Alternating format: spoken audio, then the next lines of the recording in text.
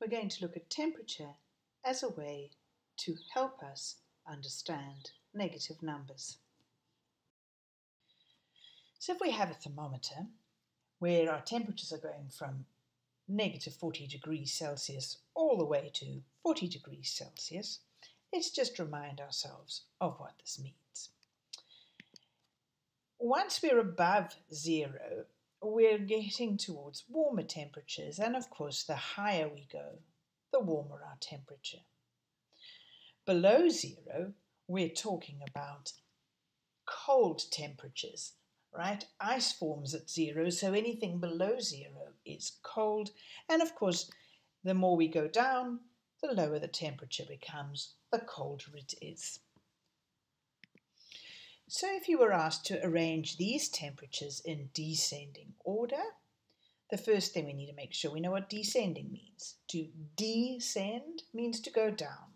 So if we're going to be asked to arrange them in descending order, it must be from hottest down to coldest. Well, let's put these temperatures on the thermometer. So 24 is about there, just somewhere between 20 and 30. Negative 24 is somewhere between negative 20 and negative 30. 3 is just a bit above 0, and negative 3 is just a bit below 0. So if we're going now to put them in hottest to coldest order, the hottest is 24, and then after that comes 3, and then after that comes the negative 3, and then the coldest temperature, the lowest temperature, is negative 24. All right, let's have a look at a bit of a scales down thermometer. Here we're only going to have temperatures between 4 and negative 4.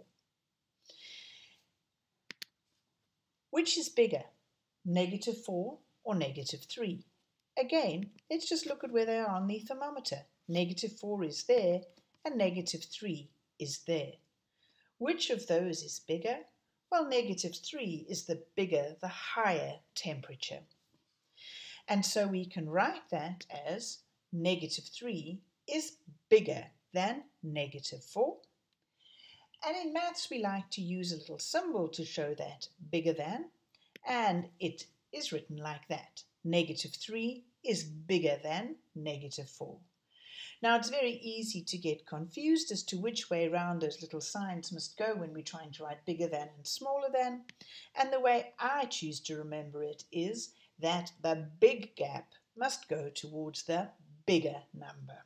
So that big open gap must go towards negative 3 because it's the bigger number. We can also look at questions like, if the temperature started at 2 degrees C but dropped by 5 degrees, what's the temperature now? So we see that we're starting at 2 and if it's dropping by 5 degrees, we must go down 5 steps. So 1, 2, 3, 4, 5 steps down takes me from 2 down to negative 3 degrees C.